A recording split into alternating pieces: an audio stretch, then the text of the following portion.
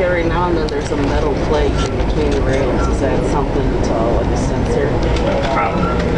It's like a wide metal. Now when the train runs over It's when the gates go down if there is any. Really any gates, but I didn't know if it was something to tell where the, there's another one.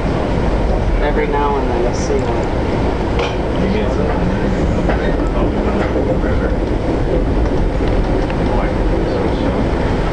was a little box. But... oh, there's, you can see the engines car. Oh, how pretty.